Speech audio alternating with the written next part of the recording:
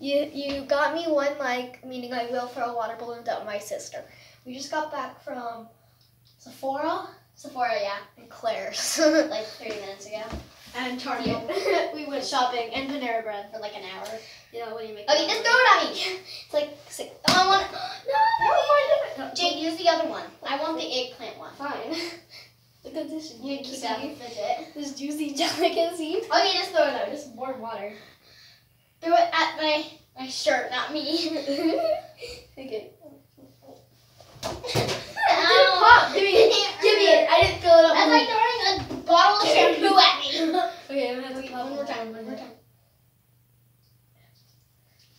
I bit a hole in it. Okay, no. Okay, okay, throw it at me. Throw it at me. It's spewing out. Throw it at me.